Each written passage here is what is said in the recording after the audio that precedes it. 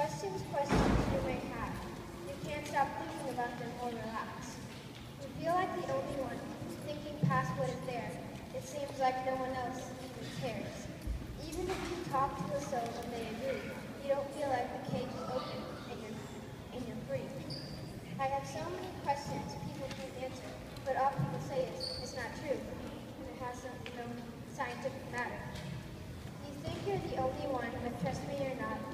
about questions people can answer a lot.